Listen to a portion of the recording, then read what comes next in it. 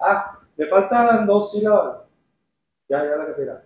Por el no detecto que una amiga de la está mensajeando. Algo así. fue? Sí. Con el pretexto que una amiga del trabajo se le... Con el pretexto que una amiga del trabajo Se enfermó y la- se, se enfermó y la está llamando, güey. Llamando. O sea, güey, es- Como que una amiga la está llamando, pero no porque se enfermó. O sea, Sí, sí, sí, la enfermada. exacto. Que una amiga del trabajo, La que sin, está llamando. que una amiga del trabajo sin razón le está llamando. todo el mes, le hacen falta sus abrazos para hacerla sentir bien.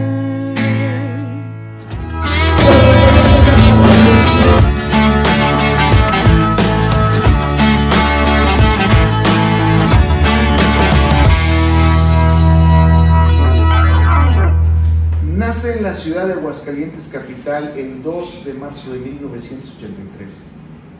A los 11 años se va a vivir una comunidad llamada Hacienda Nueva. Es el quinto de siete hermanos. Y emigra a la ciudad de, 20 a la ciudad de Monterrey a los 21 años para buscar sus sueños. El día de hoy les quiero presentar al señor Gildardo Hurtado Medina, conocido en el mundo autoral como el señor Martin Hill. Bienvenido, compadre. ¿Cómo se encuentra el día de hoy? No, muchas gracias este, por tu bonita presentación. Nada más eh, quiero aclarar ahí un puntillo. Es, viví en, en un rancho, en una comunidad, hasta los 11 años. Hasta los 11. Hasta los 11 años. Y luego ya de ahí este, me fui a la ciudad con la casa de mi mamá. Pero ahorita, le- ahorita vamos a fondo. Eh, éxitos con Valedores de la Sierra, ¿para qué le hago daño? Eh, consigno, ¿por qué no me dijiste? Bye bye con el pega pega. Eh, aún te amo con Implacable, Déjame soñar con el plan, entre muchas otras grabaciones.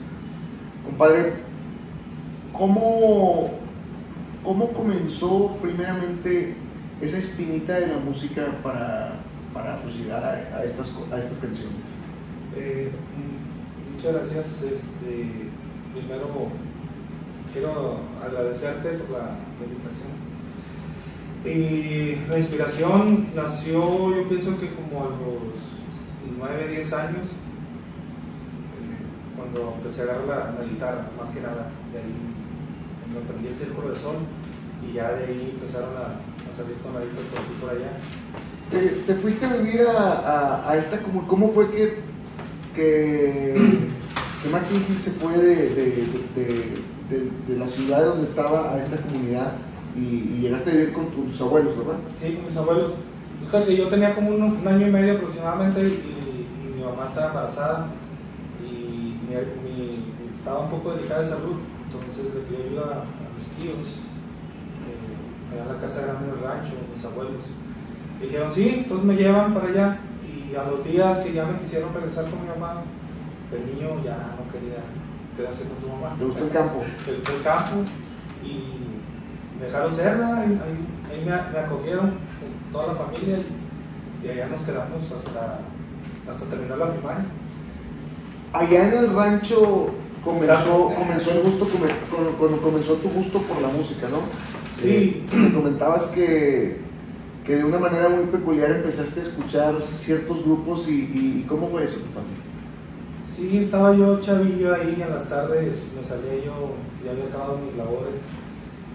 Llegaba un vecino en su bicicleta, en su baica, llegaba así de la chamba, en la talacha y, y con que el vato llegaba y se metía a bañar y, mientras estaba en el baño, porque yo me daba cuenta porque pues eran, eran este, era muy notorio ahí el, la cuestión esa, eran como tejabancitos y cosas así que estaban al lado de la casa. de eh, poner la grabadora a todo volumen y entre esos pues escuchaba grupos como Pegaso, Corcel Negro, Pegaso del Pollo, Bronce, Tropical Caribe, Tropical Panamá, toda esa ola de grandes grupos y yo pues me enamoré de, esa, música y, de ahí empezó un anhelo después que ya me enteré que iban estos grupos que, que este camarada me hacía copias de los cassettes y empezaba yo a escucharlos de, de un día irme a Monterrey. O sea, siempre fue, siempre lo visualicé. Desde el chavito ya sabías que un día te ibas a querer ir a Monterrey. Y luego, ¿cuáles fueron tus primeras aproximaciones ya con la música, de, de- hablando de que pues, empezaste a, a tocar algo. A los, en la Navidad de 1990, nah, saqué cuenta.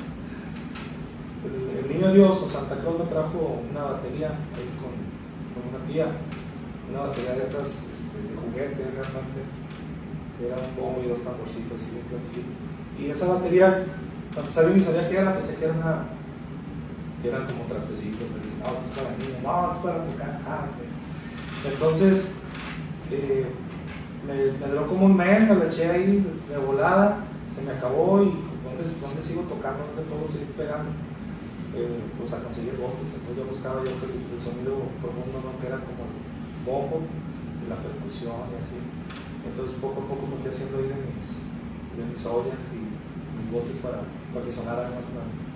Eh, empecé a empezaba a seguir discos también eh, de temerarios, por ejemplo. Temerarios, yo digo que me enseñé escuchando música de temerarios, enseñé a tocar batería.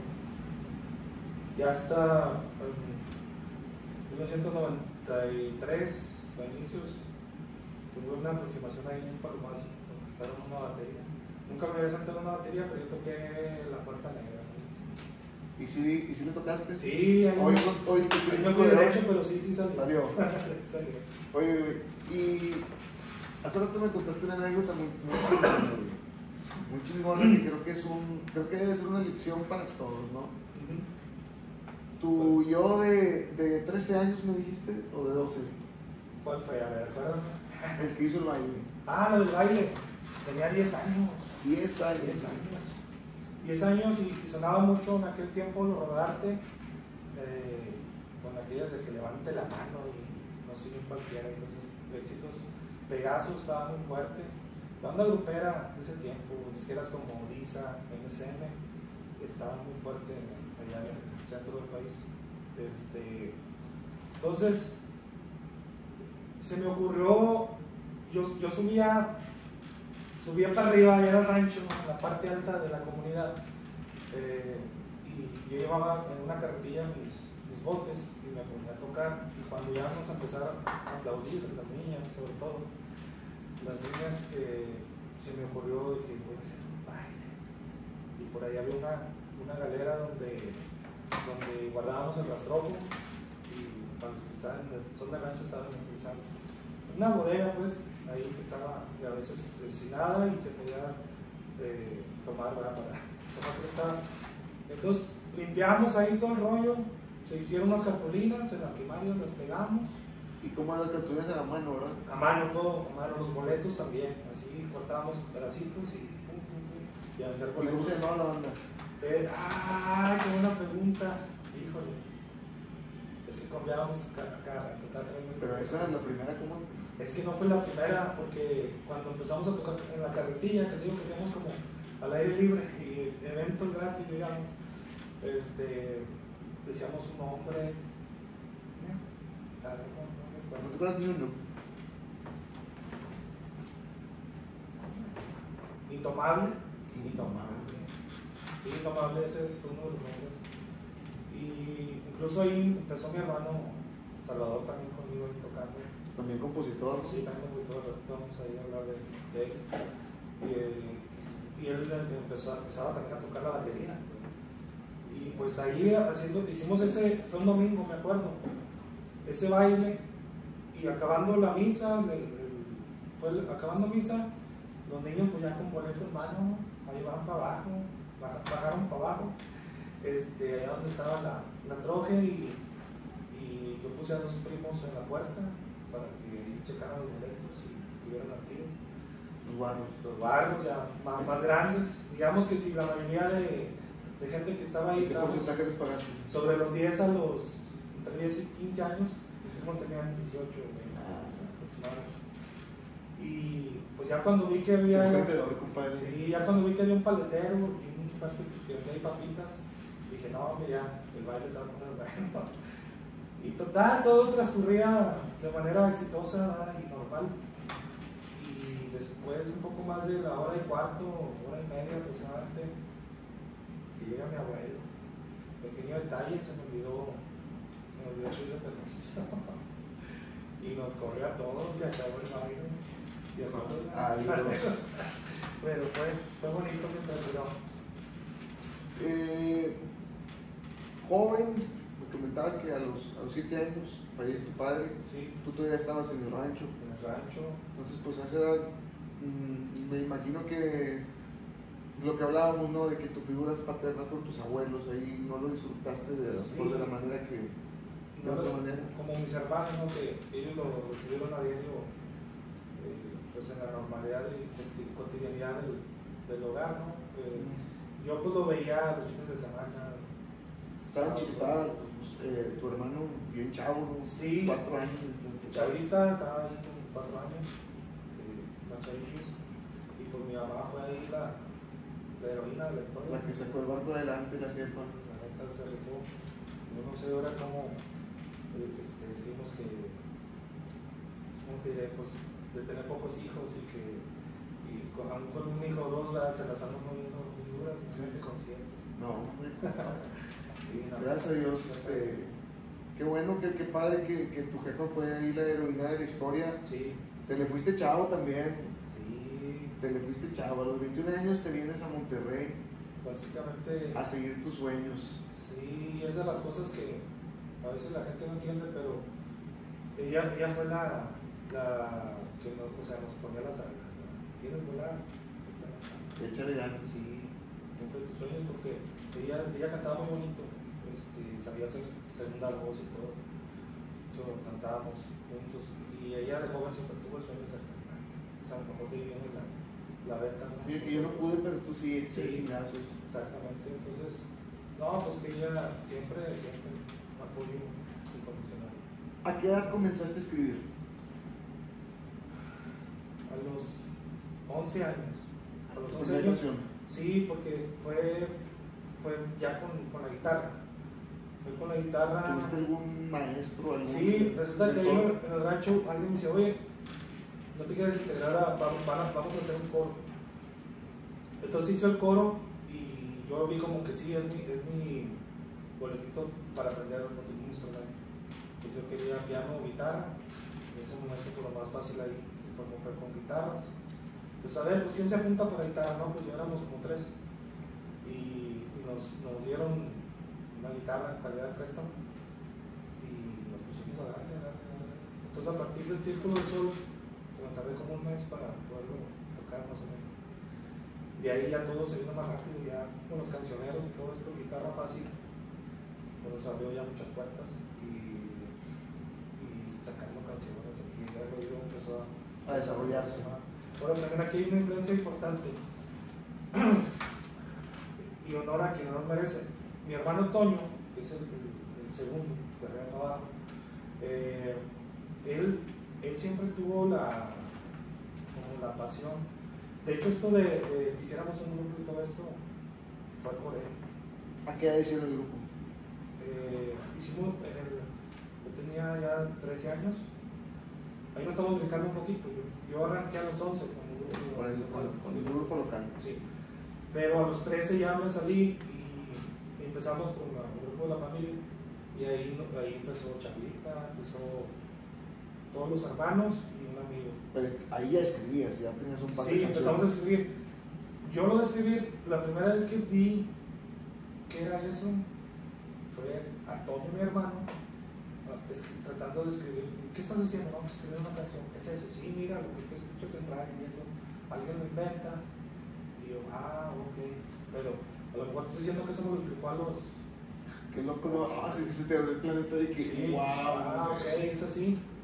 Y, y ah, digo, al día de hoy, pues él ya no se dedicó, quizá, no sé. O sea, la- Pero fíjate, esa, esa experiencia tan, tan pequeña, creo que de- me imagino que también influenció a tu, a tu hermano, ¿no? Claro. Digo, los dos. eh, qué bonito es poder decir, eh, y qué éxito de tu madre, fíjate que dos de sus hijos vivan de pura música. Bendito sea Dios. No hemos trabajado todos por la, por la música. Amén. Amén. ¡Qué habido! Saludos, sí, por eso he hecho la cabecilla. Dedicados acá, cuerpo y alma, ¿verdad? Pero es que esta es una profesión que requiere tiempo, Así. también requiere descanso. También. Sí, Sí, exacto. Entonces, eh, así empezó el rollo. A los, a los 11 años, un camarada, ya, para esto, también te voy a decir cómo fue el primer instrumento. ¿Cómo, se, cómo no el primero, cómo llegaron los instrumentos a, casa?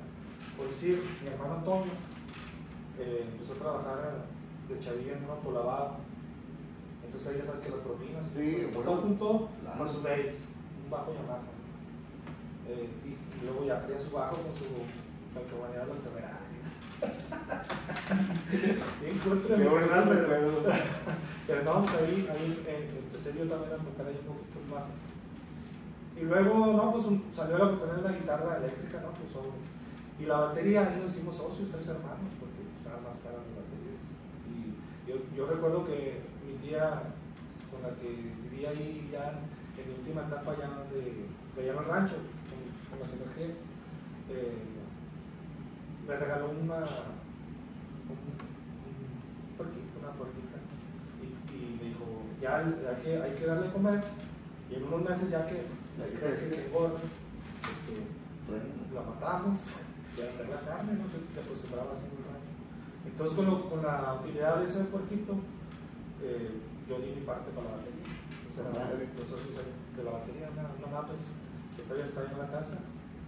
Y eh, total que ahí ya palpamos lo que era una, una batería, ¿no? Por ejemplo, ya- Real. ya real, ya no con botes y todo este rollo. Y así eh, se armó el grupito. Porque la chiquita se rompió. Sí, nada, esa no duró nada. Nada más fue la semillita. Y luego vino un amigo que tocaba muy bien la guitarra, Alfredo el Feo. Le mando un saludo si ve. Alfredo. Y, y dice, oye, pues ya anda en un grupo y, y jalaba muy bien ese grupo espía. Ahí, este, en la, en la- digamos, en el, en el grupito de gente de nuestro entorno, al de- El ambiente musical. era del como el grupo ahí que todo el mundo contrataba. ¿verdad? Entonces, oye, Gustavo el espía ahí, dio mucho jale. No, pues ya me llevó este calarme, ya traído estas rodillas. Y pues el dueño encantado, le dice, ah, mira, niño, está simpaticón, ahí para traerlo de mascota. Y empecé a jalar, me acuerdo, digamos, a la mitad de evento, porque los eventos eran de 5 horas, el evento completo, era como las bodas, yo tocaba alrededor de medio evento. No, la batería en ese tiempo. Y, y ahí, y ahí pues nos, obviamos y eh, duré como un año, un año y medio. Y ya nos salimos, hicimos el grupo Los Misioneros con mi hermano, ya, este, él hoy en, en el teclado, se me permitió estudiar algo en el teclado, Chavita, Arnulfo, mayor cantando, y así empezamos. Chavita en la güey. Chavita en, la- las percusiones primero, sí, porque estaba mi hermano Lisandro, uno que luego se hizo este charro y, y jinete, es campeón de, de, de rodeo, y no, el vato se puso acá.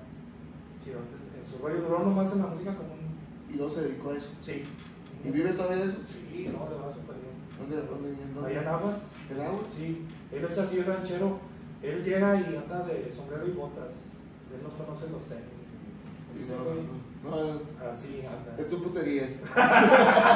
Sí, no, la neta es que es el tipo de rancho más ra- Sí, ranchero. que fue conozco. cotorreo, eso fue La cotorreo. mera verdad, sí. Pero chingón, chingón, Sí. ¿no? Pues chingón porque a final de cuentas volvemos a lo mismo. Qué bonito que cada uno encontró su camino, ¿no? Todos, Sí. todos los hijos de tu jefe. Fíjate, compadre, ah, ¿cuál fue- ¿cuáles fueron tus primeras canciones? ¿Quién te las grabó? La, la primera canción. Ah, bueno, ahí nos estamos dedicando algunos, algunos años, pero. Bueno, vamos a, ahí nos. Yo empecé en el año 2000, creo que en el 2001, conocí ahí a un, a un autor que en ese tiempo traía varios años y ha grabado Arturo Santiago. ¿Ok? de Navas y, y, y también él se junta mucho con Saúl Sosa, un cantante de, de un grupo muy famoso de los 90, de los 90 por aquí. Sí, sí. Entonces, ellos se juntaban mucho, por alguna razón, yo, yo comencé a juntarme con ellos, este, no recuerdo cómo fue que me, me jalaron, ¿no?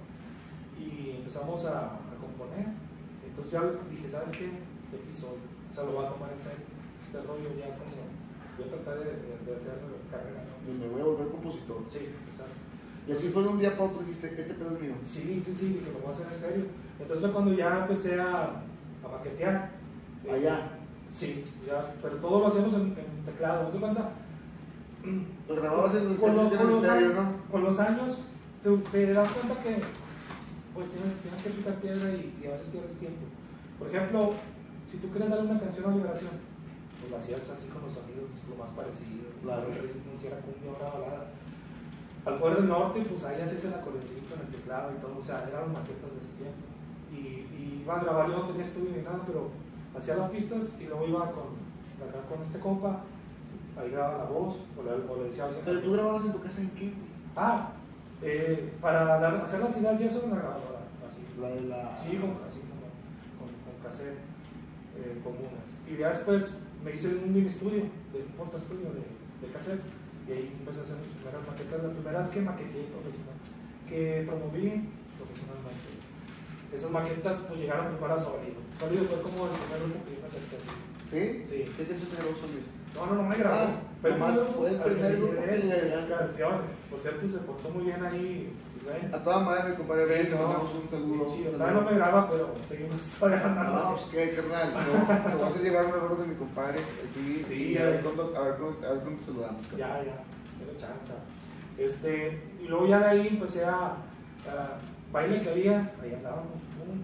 Como un denominador de un, de un, de un Sí. compositor exitoso, ¿no? Lo hicimos, lo hicimos en grupis, bailar para y para abajo. Es que si no, ¿cómo llegas, no? Sí, este, esto fue 2000, 2002, 2003 y no pasaba nada, oye, llegaban los grupos, ya grabamos, sí, no es que fíjate, y es que sí estaban buenas, pero pues realmente ya con el tiempo sabes que pues, no estaban tan buenas las rolas, o sea, por algo no estaban pasando las cosas.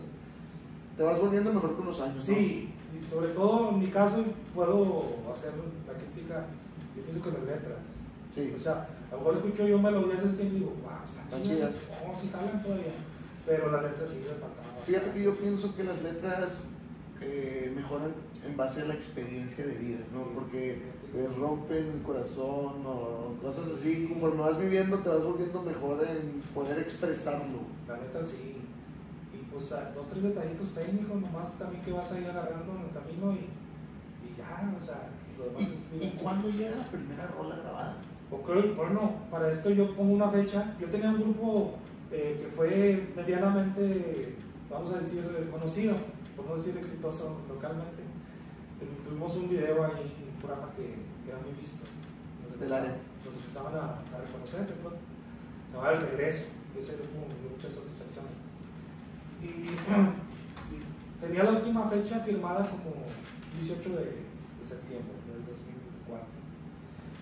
Y, y dije, pues yo me voy el domingo, o sea, despido a mi familia el, el domingo y salgo en la noche a Monterrey, allá el lunes. Ah, o sea, te despediste del grupo también. Sí, yo, yo les dejé el grupo jalando y dejé dejé- Pero, fíjate, qué, qué- qué importante que llegamos a ese punto. ¿Qué, ¿Qué fue lo que te hizo de que, güey, porque bien dices que el grupo estaba empezando a jalar. Sí.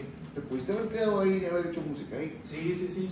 Pero yo traía esa espinita de, de la composición. O sea, eso fue lo que realmente. Detonó. quiero ser compositor. Sí, y no, y no estaba pasando. O sea, sí estaba pasando a lo mejor con los tres productos locales Y con tus grupos. y con el grupo, obviamente. Pero dije, no, no, O sea, más. tengo que ver un CD de, de Lisa con mi nombre o de otra disquera. Es- es lo que yo anhelaba. Y luego, pues me di ese tiempo, pasaron, yo o sea, les, les avisé a los chavos, en seis meses me voy. No, güey. Sí, y, y trataban, no, quédate, quédate. Gracias a Dios y pues puedo presumir que hicieron dos despedidas allá del grupo y de la familia y otra, unas amistades. ¿Siguió el grupo?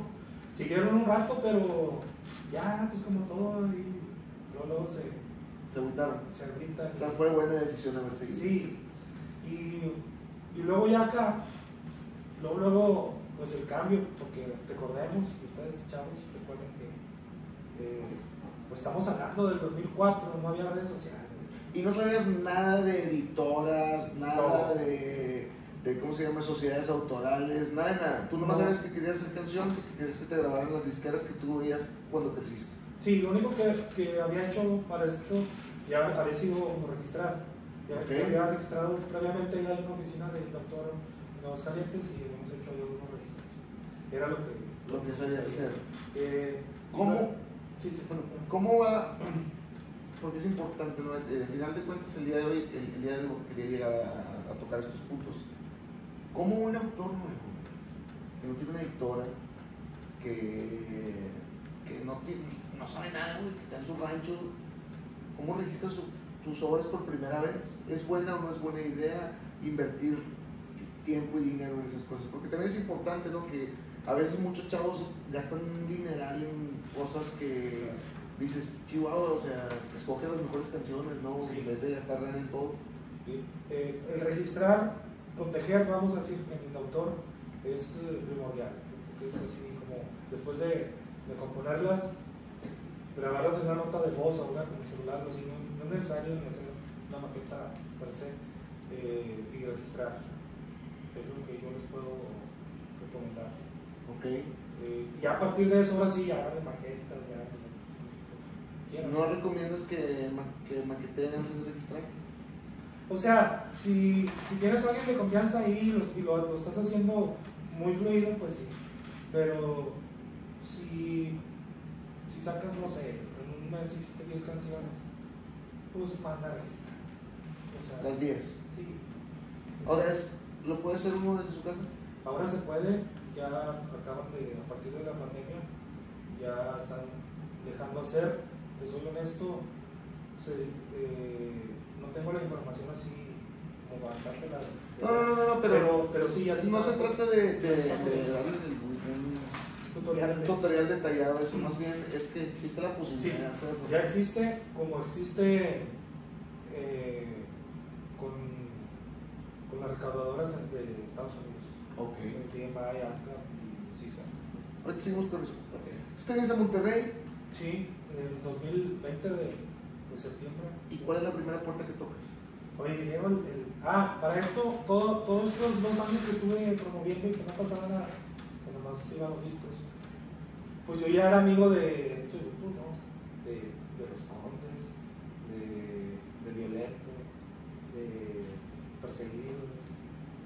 Entonces, en Violento tocaba Memí, ex, ex Pegaso, Sí, sí. ex Poder. Bajista, pues, Pegaso. pues, no, es que. Eh, y él, él, cuando yo llegué acá, me echó mucho la mano, me prestó ahí donde quedarme, estuve ahí dos o tres meses quedando en un lugar de él. Y me llevó a oficinas también de, de, de, de editoras de este rollo. O sea, me echó, me echó la mano.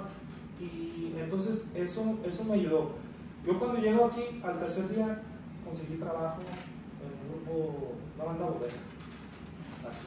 Llegué y, ¿qué onda? Sobre. Toqué un poquito ahí, unas, unas rolas, y ya tenía jale. Ya para, el- para la semana y media ya estaba yo tocando, así con un smoking que consiguieron. Y ahí empecé. Llegaste y hubo, hubo, hubo de comer. Sí, gracias a Dios. eh, Una ciudad como esta es, es muy noble. El, el que quiere salir adelante y quiere trabajar, Como compositor puede venir a una ciudad como esta Sí. Le va a doler, ¿no? Claro, claro. No, na- nada en esta vida es eh, ni el aprendizaje ni, ni, el, ni el venir aquí es como que vas a llegar y, te están esperando con los demás. pero hay pero oportunidades hay en todos lados. Sí, ¿no? sí, la neta sí. A mí me sorprendió que yo llegué y luego me ofrecieron, este, mira, aquí no pagamos mucho, pero pagamos tanto. Y yo, no, está con madre. O sea, me estaban pagando, pero luego, ay, güey, es que Monterrey es bien caro, ¿no? O sea, luego caes en la cuenta que Cuesta- cuesta más vivir cuesta acá. más vivir, exactamente. Pero de entrada fue así, muy buena impresión de sueldo y todo. ¿Y quién te grabó la primera rola? Eh, eh, LMT, El Realmente, con la suerte que salimos de, de sencillo. Mm, fíjate que ¿Por medio de una editora? me graban realmente, no, ahí va la historia, pero ah, porque luego mis amigos y no van a pensar. Hay un grupo en Chicago que se llama Rival, ahí estaba Ernie, el chaparrito del bajo sexto que, to- que tocó la, varios años en la Tracalos. ¿Ok? De hecho, él, él y el otro generaron mucha imagen, ¿verdad? De la banda, para que lo ubiquen. Él tenía un grupo muy bueno, rival. Nada más que creo que ese disco salió, no sé si a la par o un poquito después del LMT, por eso yo cuento que el LMT. Pero la, en sí la, las dos canciones con rival ya estaban grabadas. Con rival primero. Rival y, y LMT. Y o sea, LMT. salieron así. Pero con LMT salimos de sencillo con equivocada, o sea, por la... ¿Y tú llegaste co- por medio de Ah. con el grupo? Sí, en, en- en el grupo de bodas pues estaba el dueño Luis, que le mando Luis López, que le mando un saludote. Eh, había salido del grupo en ese momento una cantante y ellos, ellos serían, ya no qué eran buenos amigos. Este, me lleva con ella, me tengo que presentar a ella, a ella, que hermana de Che, de él, Chabela, que si me está viendo le mando un saludo. Y luego, luego, como que hicimos clic. Dijo, oye, pues es que si, si traes onda, y así, esa, esta no, esta sí, aquí cámbiale, y así. Incluso ella me, me ayudó a maquillar con su voz, de por esa, la equivocada y un par de cosas más. Y, y se quedaron dos canciones en ese disco, con la suerte de que fuimos la punta de lanza de ese grupo. No, pues al, al menos de un año este, fue la presentación del disco y yo ahí era bien, enchante. ¿no? sí, cómo no. Eh, y de ahí para acá, gracias a Dios. O sea, ese jale no es una editora. De todas las canciones que te han grabado, ¿cuántas te ha promovido una editora? Fíjate que ha habido algunas de editoras, eh, la mayoría han sido propio tra- trabajo propio. Ojo, chavos. Sí, la ha, sido la verdad este, la mayoría eh, chamba de uno o de, en este caso nosotros que hacemos canciones entre dos o tres coautores, pues alguno la coloca. Sí, lo promueven todo. ¿no? Exacto, todo lo promovemos y pues a ver dónde, dónde hay suerte. Y, pero sí, la editora sí, una muy importante para mí, eh, un parteaguas para que le haga daño de valedores. Claro. No lo- le agradezco ahí al señor Romero Hernández de cerca, que la promovió por medio de cerca. O sea, no hay que estar peleados, yo creo que es. Pero No, claro. hay- no hay que tenernos, ¿verdad? Sí, es que yo, yo se lo digo de repente a mi- amigos de que hablan de acerca de las disqueras grandes, ¿no? De que no, es que las disqueras ya no hacen nada por ti.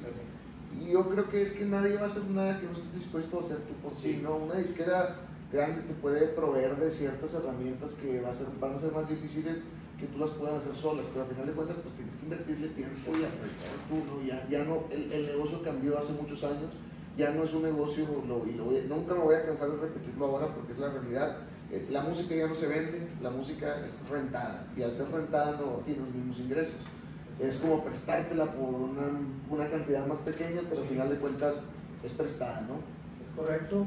Eh, Y las editoras trabajan en- para eso, ¿no? Para cobrar ese formato para... ¿O cómo funciona una editora? La editora básicamente promueve y al promover eh, bajo sus contratos, eh, tú cedes acá en el norte lo normal, lo ley es el 50% de la canción ¿verdad? para su explotación. Eh, allá en, en México hay varias editoras que te puedes agarrar hasta del, del 80, 20 o, O sea, el 70.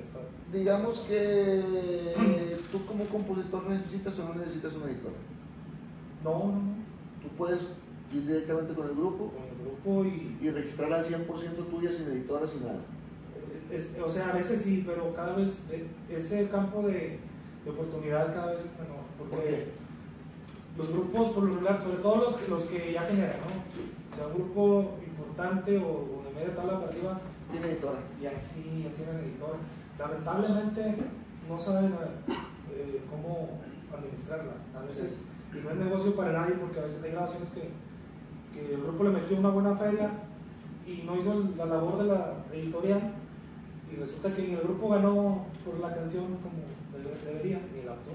Sí. Entonces hay que estar al tiro con eso. Hay que estar al tiro con el autor tiene que estar bien al tiro de que su obra una vez ya grabada y que ya está en radio, plataformas, que esté dada de alta. Muy importante. Sí, porque a veces las editoras también tienen sus contratos y ahí se quedan, ¿no? Sí, el contrato no, llega hasta. A se les veces, pasa el tiempo. a veces no llegan ni a, registro. Se quedan ahí archivados en En contratos. Exacto. Porque como tienen un contrato, cualquier cosa, tienen un contrato con anterioridad y tienen cómo defenderse ante la ley. Por eso.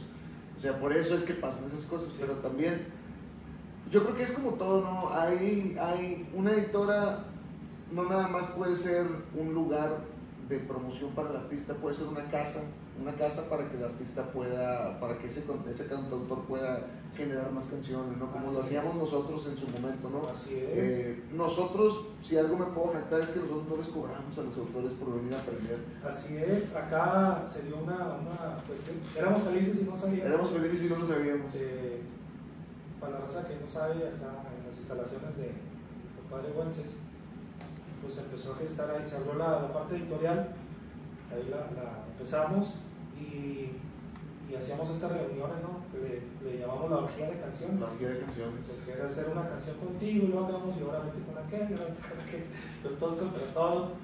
Y, y Y al el día que vamos exhaustos todos. Sí, de repente ya en, en 3, 4 días salían, no sé, 80 canciones. Sí, era una cosa exagerada. Sí, la verdad. Y, y pues fueron bonitas experiencias, de ahí salieron muchas grabaciones. Van a venir otra vez las orgías de canciones. ¿eh? Estamos, estamos vamos a empezar. Ya, de hecho, ya tuvimos una primera orgía de canciones la semana pasada.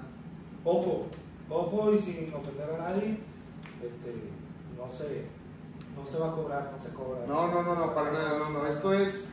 ah, nosotros creemos que.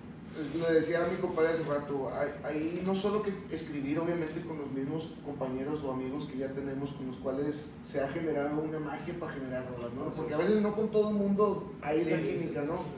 Es una, que tiene que, que haber esa, ese, ese clic de que, ah, mira, güey, sí, sí estamos conectados, sí tenemos las mismas ideas. Eh, la editora en este caso puede ser un lugar para hacer eso, ¿no? Sí. Ahora, ¿qué es, güey? ¿Qué es una, una, ¿cómo se llama? Un SACAM, ¿qué es un BMI? Es una casa autoral, ¿qué, ¿para qué funciona? Son, son este, las recaudadoras de los derechos, eh, bueno, cuando había discos, lo, se llamaban derechos fonomecánicos, ah, que era la venta de discos y producto físico, sí. ¿Sí? Eh, y la, lo que se le llama la ejecución pública, ¿Sí?